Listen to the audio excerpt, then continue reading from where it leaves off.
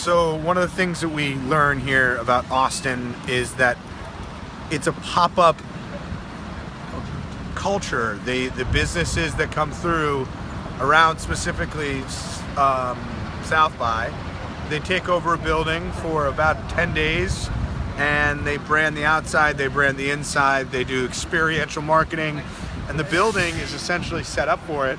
And then once the event is done, it be rebranded for something else. The question is, in the off time, what happens? What's happening in Austin? What's happening in Austin is, is, a, is a question, great question to ask. The city another people, time. the city people. come Off back. time, right? Come and check it out to see what happens then. Yeah, I mean, the, the, the truth is, They is that empty? I find myself very interested in, in the music production studios, and if we can get our game tight, I'd like to be doing a pop up in Austin next year at South by Southwest, and it will be a music venue of New York based music during the music side of the festival. And I'm John Knowles from Roger Smith News.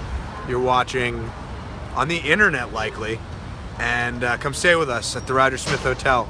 RogerSmithHotel.com slash South by Southwest gets you 15% off juniors and suites.